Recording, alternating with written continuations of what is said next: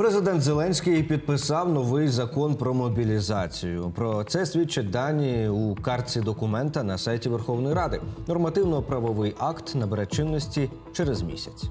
Нагадаю, минулого тижня депутати ухвалили в цілому законопроєкт щодо вдосконалення окремих питань мобілізації, військового обліку та проходження служби. Тоді зелену кнопку натисли 283 нардепи.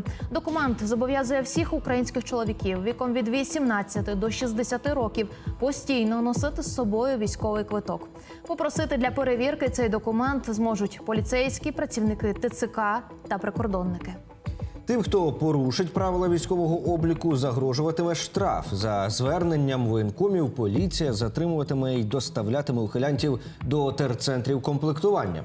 Відстрочку від мобілізації отримують люди з інвалідністю усіх груп, ті, хто мають трьох або більше неповнолітніх дітей, батьки-одинаки, батьки дитини з першої чи другої групи інвалідності, громадяни, що мають чоловіка чи дружину з першою, другою, а в певних випадках і третьою групою інвалідності.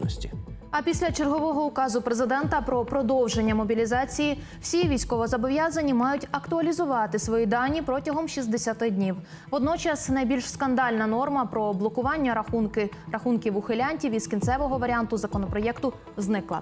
Питання мобілізації на розгляді у Верховній Раді було понад 4 місяці.